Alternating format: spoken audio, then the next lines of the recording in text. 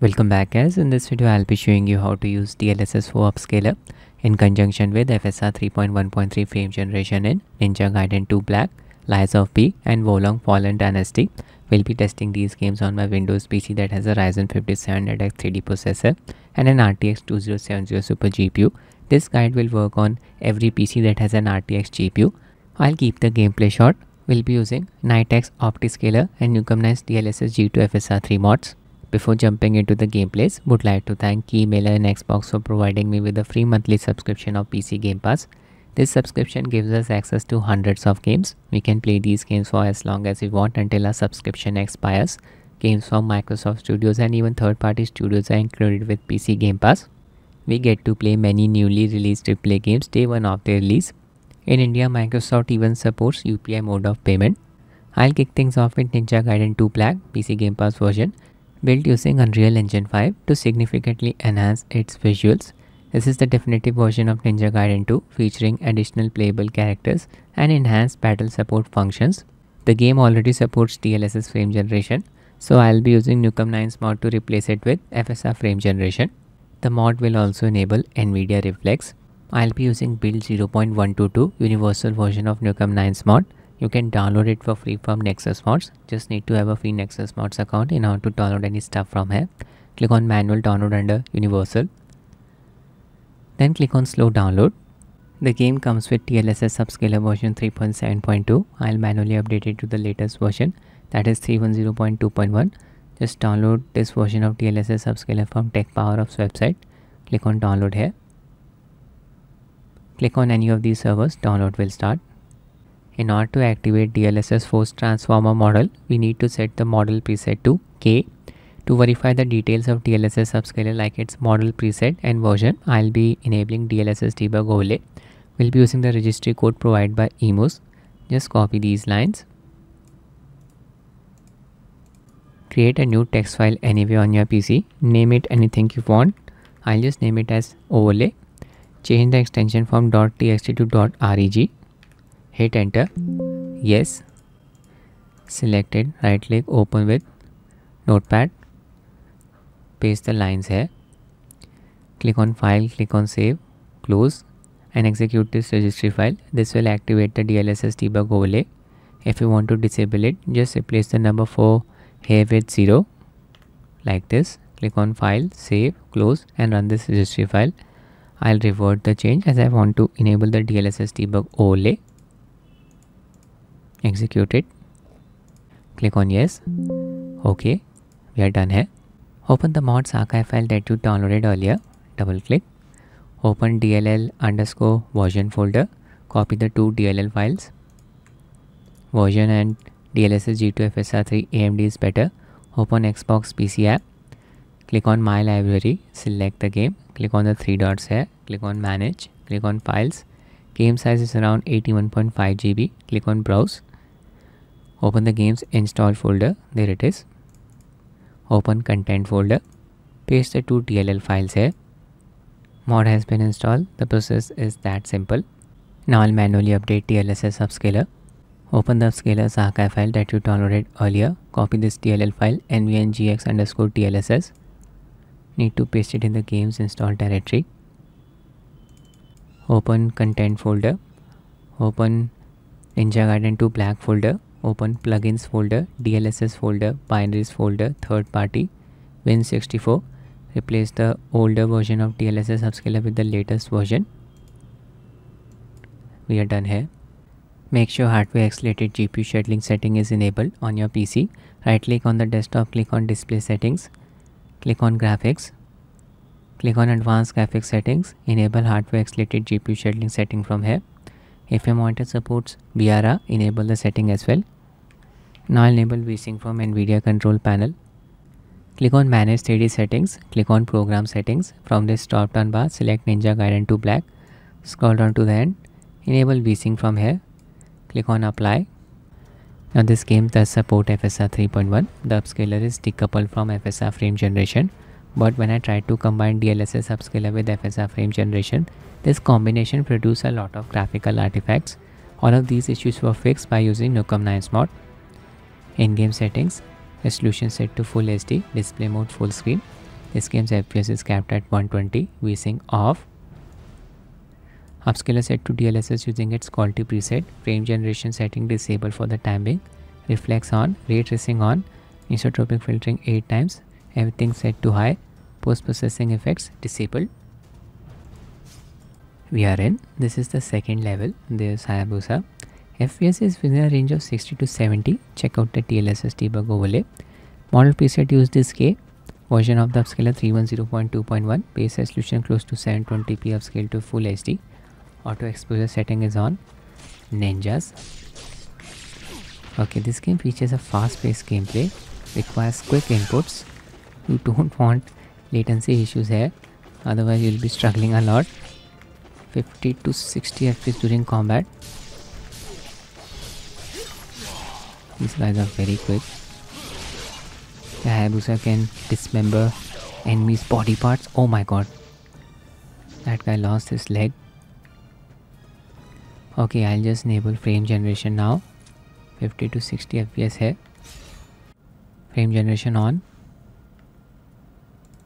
Back to the game. Yeah, FPS increased to around 100. Can observe the amount of smoothness. Game's HUD elements are not flickering. Mod seems to be working properly. Not observing any artifacts. Entering the village. What is guarding this place? There it is. Lunged at me. Sliced it. Your frame pacing graph is not a flat line. It's due to the recent changes in streamline framework. Does not affect the performance. These things are way too quick. I'm just looking for an opening would not recommend using frame generation in this game if the base FPS is lower than 50. Latency will be a problem. Finally, took it down. Now I'll be testing the next game. We'll be using the latest nightly build of OptiScaler mod. You can download it from GitHub. Just expand the asset section here. Click on the .7z link. This is the build that I'll be using. 0.7.7 preview 720250310 Lies of P is a Souls-like game built using Unreal Engine 4. It will be leaving Game Pass in 5 days. The story follows the titular puppet traversing the fictional city of Krat, plagued by both an epidemic of petrification disease and a puppet uprising. This game does not support FSR frame generation, so I'll be enabling it via OptiScaler mod. Open OptiScaler mod's archive file. Copy the highlighted files, 3 of them. Need to paste them in the game's install directory open xbox pc app go to my library select the game click on the three dots here click on manage click on files. Game size is around 35.6 gb click on browse. Open the games install folder open content folder open lies of p folder open binaries folder WinGDK folder paste the files here. Change the name of optiscaler.dll file to dxgi.dll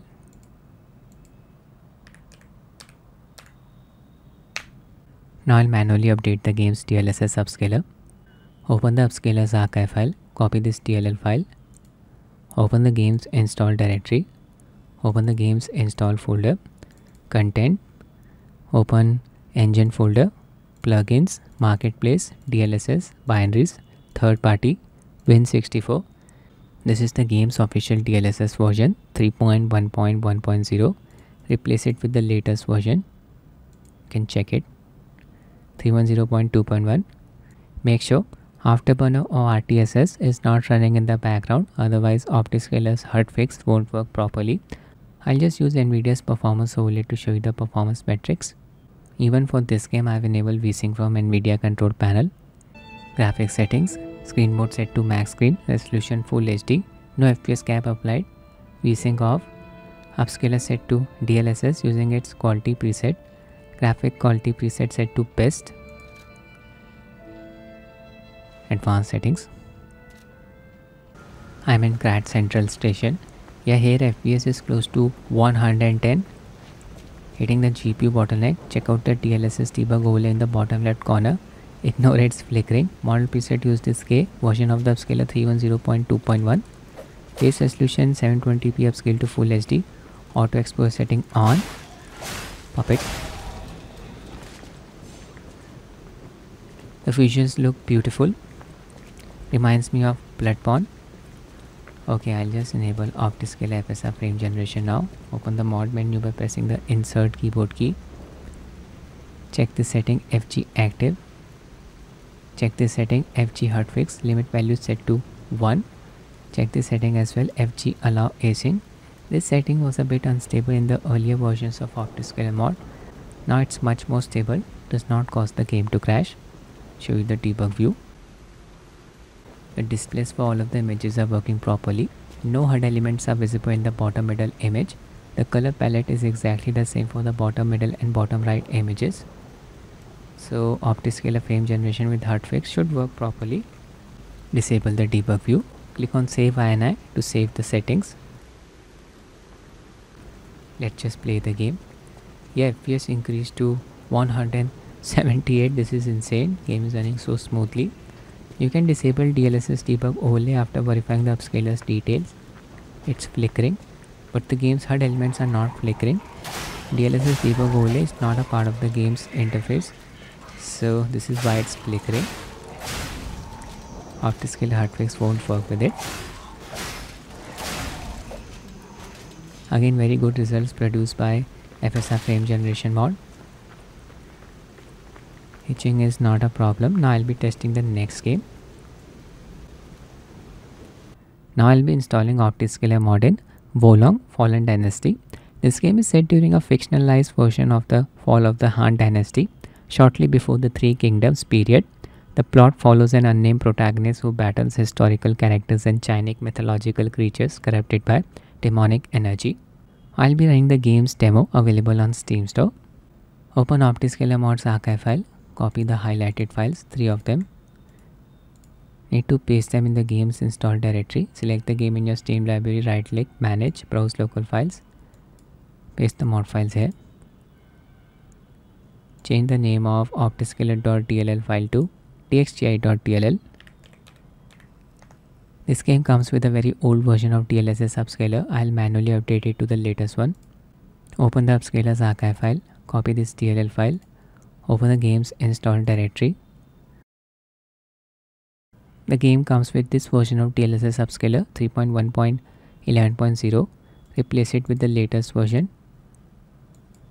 Check it. There you go. I'll enable VSync from NVIDIA control panel. Game does not support reflex, so I'll also enable ultra low latency mode from here. Click on manage 3D settings, click on program settings, select the game from this drop down bar, scroll down until you find low latency mode setting. Just set it to ultra. Scroll down to then. Enable vsync from here. My monitor is g-sync compatible. I'll enable the corresponding settings for it. Click on setup g-sync here. Enable the following settings. Enable g-sync g-sync compatible. Enable for full screen mode. Enable settings for the selected display model. I'll also enable g-sync indicator. This step is optional. Click on display here and check this setting. G-sync compatible indicator. Apply the changes Make sure Afterburner overlay is not running in the background. It can cause OptiScaler's hotfix to not work properly. Again, I'll be using NVIDIA's performance overlay to show you the performance metrics. In-game graphics settings, display mode full screen, resolution set to full HD. Maximum FPS 120, resolution scaling, upscaler set to DLSS using its quality preset. Everything set to high, in-game VSync disable, effects enable. Post-processing effects like motion blur, chromatic aberration, film grain, depth of field and lens flare disabled. VRN. Yeah, here FPS is within a range of 70 to 80. Check out the DLSS debug overlay in the bottom left corner. Model preset used this K. Latest version of the upscaler. Base resolution 720p upscale to full HD resolution. Auto exposure setting is on. It's another Souls-like game requires quick inputs features a fast-paced gameplay. Just enable OptiScaler FSR frame generation now. Open the mod menu by pressing the insert keyboard key. DLSS upscaler selected. Check this setting FG active. Check this setting FG HUD fix. set the limit value to 1 FG losing setting enabled. Show the debug view. Displays are working properly for all of the images. No HUD elements are visible in the bottom middle image. The color palette is exactly the same for the bottom middle and bottom right images. so OptiScaler FSR frame generation smoothing effect should work properly. Games interface should not flicker. Disable debug view. Click on save INI reload the same checkpoint. Yeah fps increased to around 120 can observe the added amount of smoothness. Before enabling frame generation here fps was within a range of 70 to 80 the game's HUD elements are not flickering only the DLSS debug overlay is flickering. You can disable it after verifying the upscaler's details. This game had performance issues at launch, used to run in a slow motion state when the base FPS dropped below 40. I hope this issue has been fixed now. Would not recommend enabling frame generation if the base FPS is lower than 60, otherwise latency will be a problem. This applies to every Souls-like game perfect parry there. Stunned the guy. So that's it for the video guys. I hope you find it useful. Thanks for watching and have a nice day